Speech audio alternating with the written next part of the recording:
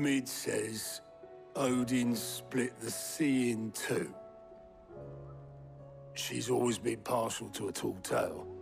But there's tall, and then there's tall. I struggle to believe it myself.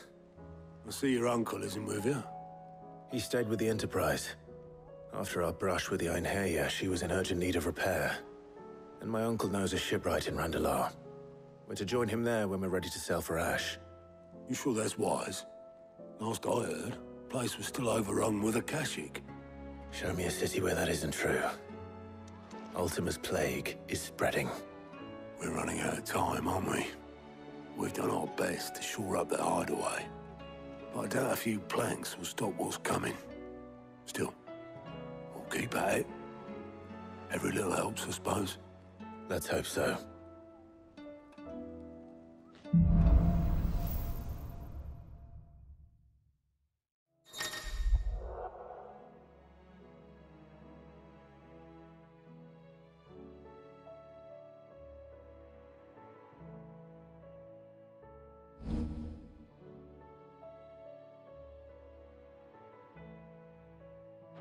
I visit Joshua. Assuming Tarja will allow it.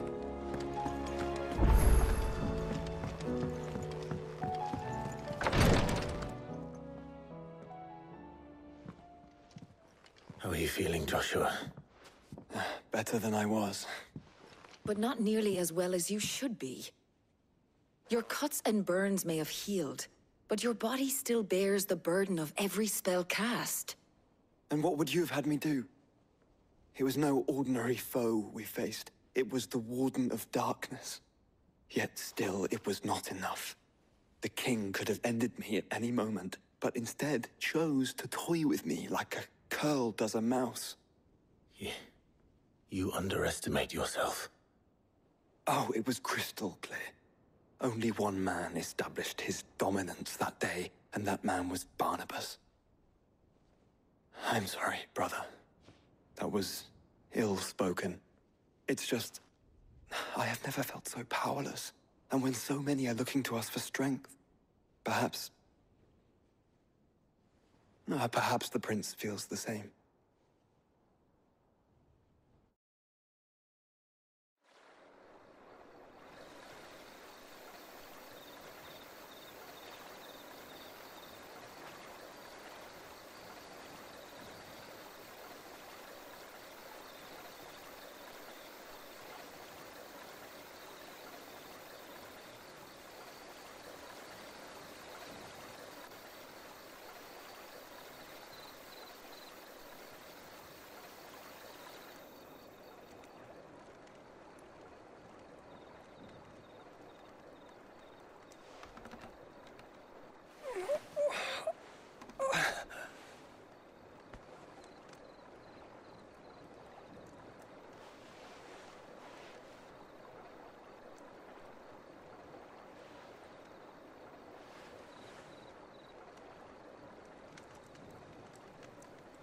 What is this place?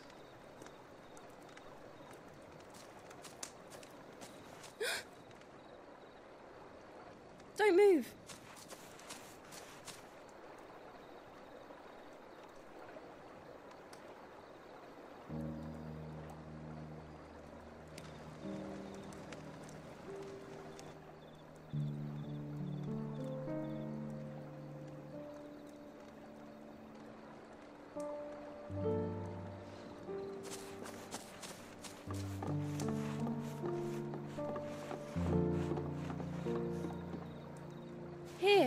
It's fresh from the well.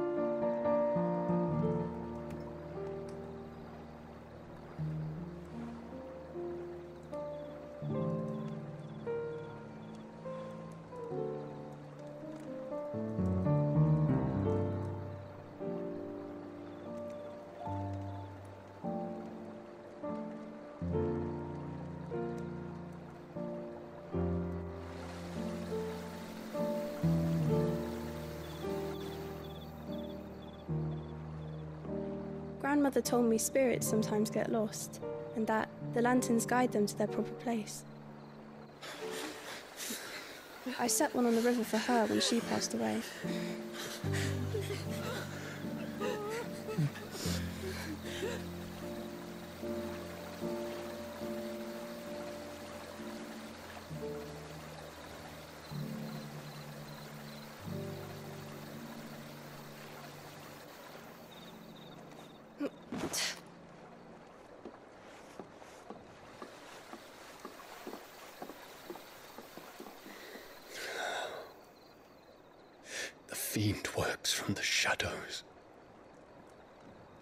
Was it you who guided my hand then, Ultima?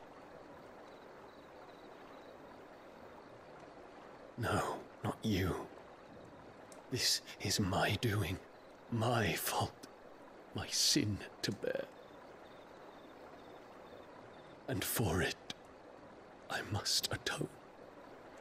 Your hurts are healing nicely.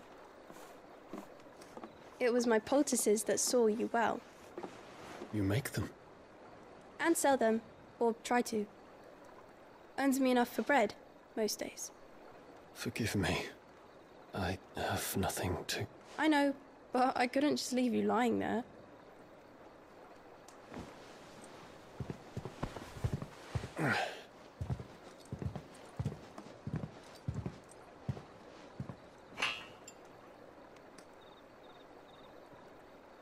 You're going then? Of course. I'm healed. Thanks to you and your poultices. Will you promise to come back and visit?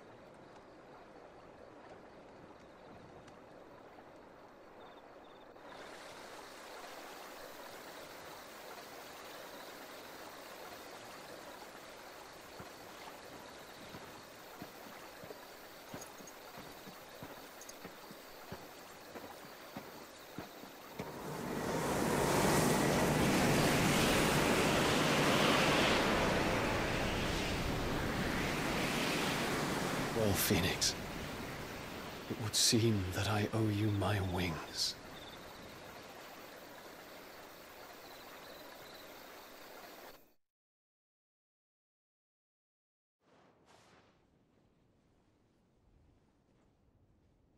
Perhaps he can find an answer. You will be returning to Waloed soon, I gather. I see no reason to wait. Then neither do I. I can think of a few, but I doubt they'll stop you. You will take your medicine. Of course, Lady Tarja. Set on leaving already, are you? How long will it take us to get back to Ash? Dunno, about the same amount of time it took us to get here. Maybe less, if your uncle can find someone trustworthy to patch up the Enterprise. All depends on where we're putting into port, mind. Yes. It's not as if we can put ashore wherever we choose. We have to assume that the whole of Ash is hostile, and that we'll be attacked on sight. Then we must find a place they won't think to look. And I have an idea who might know of one. The Professor! I'll go and tell you coming. While you're plotting our course, I'll be in the shelves with your loresman. I wish to pick his brains about Ultima. Then I'll talk to Charon about supplies for the journey. They may not be easy to come by in Ash.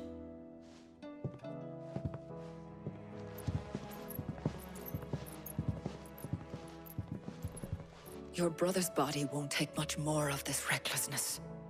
You know that, don't you? I do.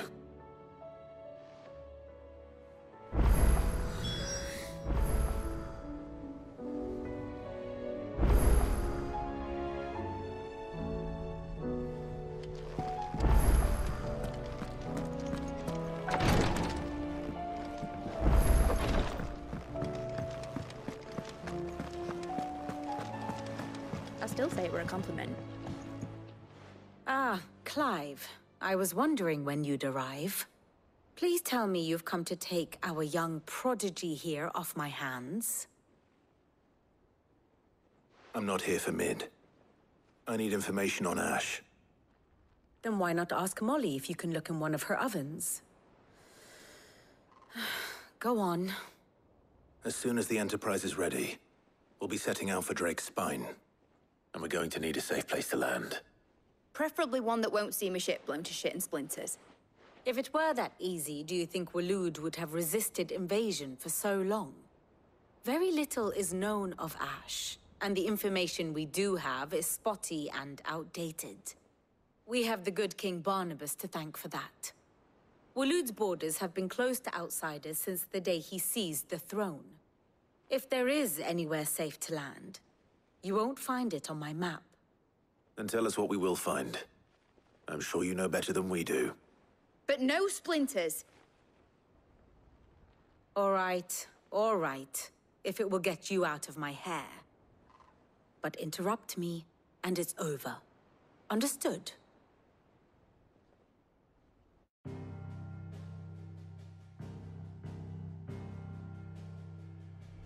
Barnabas Tharm.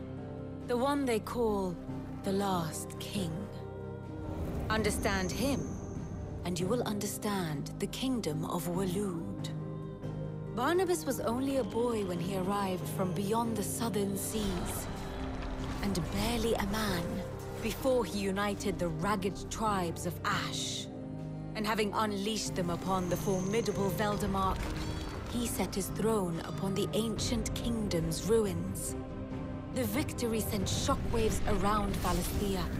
Tales of Odin's might spreading through every court, parlor, and drinking hole in the realm.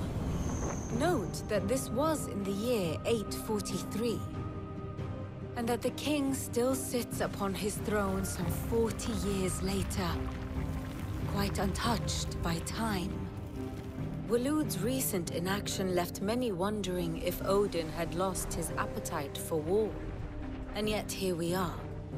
The Einherjar was committed to the fray, a bold declaration of intent.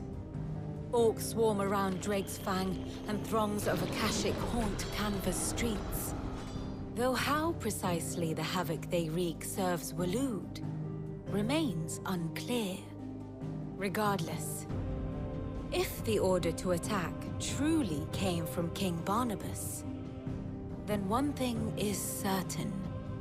Waloed has achieved the impossible, and made bedfellows of beastmen and the ether-addled alike. All of which is a roundabout way of saying that you will be in unknown territory when you set foot on Ash. Much of the continent has already been lost to the Blight, and what few ports remain will be fiercely guarded. And that is to say naught of its natural defenses. Offshore currents will cast an ill-equipped ship out to sea one moment, and dash it against the rocks the next. But then the Enterprise is anything but ill-equipped. And Mid has made land there before. Now, if only there were someone with an intimate knowledge of the Shadow Coast, and where a daring gentleman might put ashore.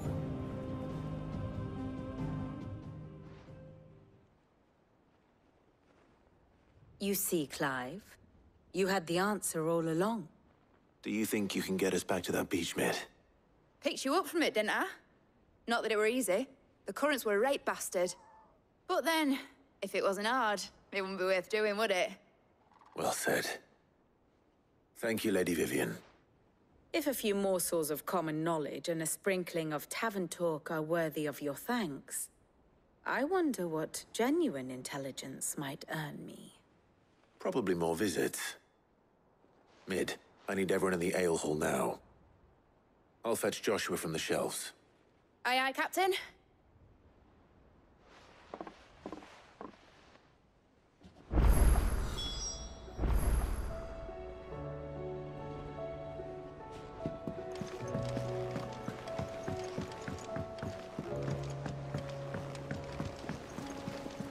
Covered in nicks and lumps. The I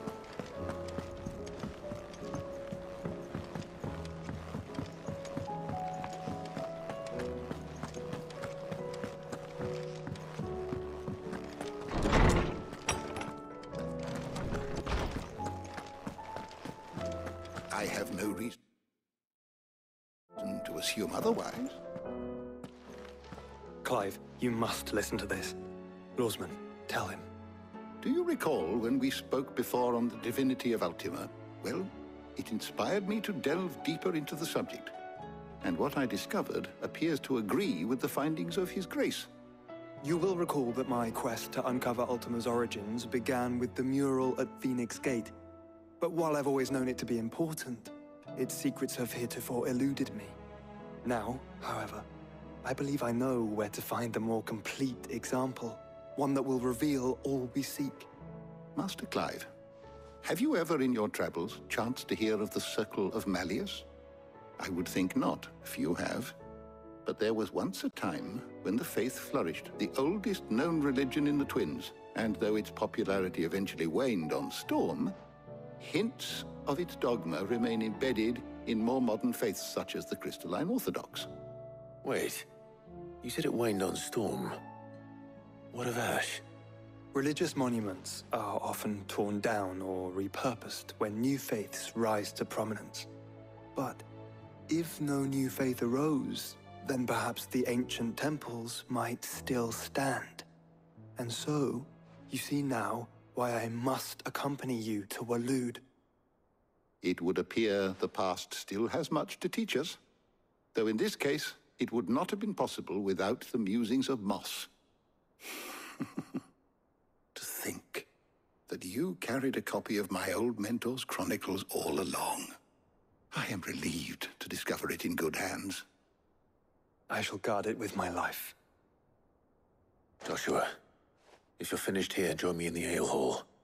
I need to speak to everyone before we leave. Right away.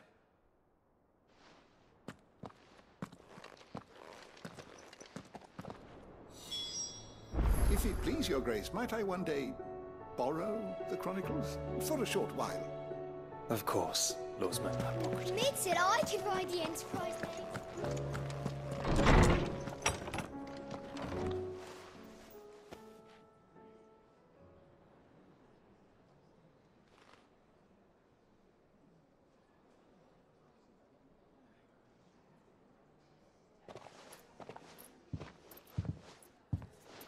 Apologies.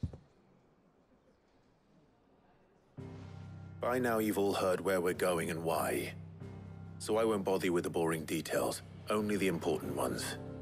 If we attempt to approach Stonehere by sea, there's a good chance we'll be sighted and fall prey to the capital's artillery.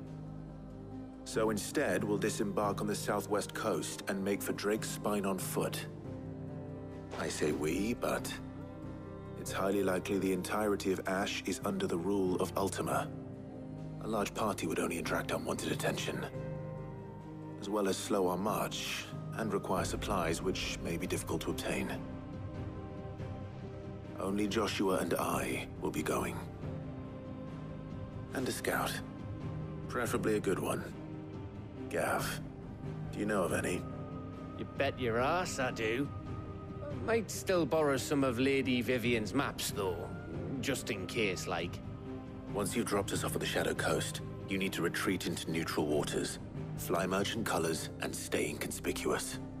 If you sense any danger at all, you leave us behind and return to Storm. Inconspicuous is my middle name. But like hell am I leaving anyone behind. The ship ain't going nowhere till your scurvy mugs are smiling on deck. Jill, the Enterprise will appear a tempting target for Royalists and pirates alike. You're to stop anyone boarding. Don't worry. I'll keep the ship and her crew safe. You'll be needing passage home, after all. But... Very well. If there are no questions, I'll see you all at the docks.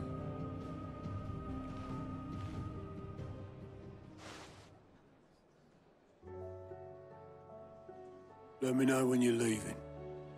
I want a word before you go. Of course.